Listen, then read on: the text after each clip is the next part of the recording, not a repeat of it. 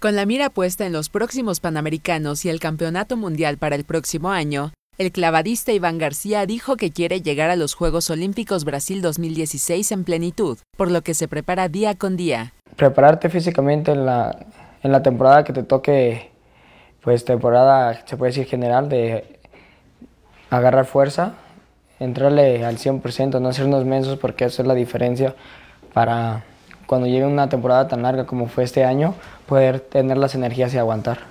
Al hablar sobre las satisfacciones que ha tenido gracias a los clavados, García comentó. He tenido bastantes, gracias a Dios, pero sin duda la que más me ha marcado es la medalla olímpica en Londres.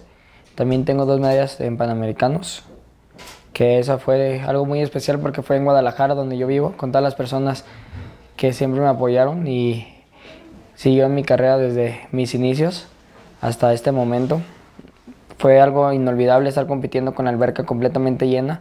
El ruido que hacía la gente para apoyarte fue demasiado que si no, no sabes controlar eso de la presión, pues te puede afectar bastante. El clavadista se siente orgulloso de haber marcado la pauta en los clavados a nivel mundial, por el alto grado de dificultad que aplican en las competencias. Siento que lo hicimos tanto Germán como yo y obviamente mi entrenador Iván de revolucionar los clavados a un alto grado de dificultad que a lo mejor muchos pensaban que era imposible hacer los clavados que estamos haciendo ahorita.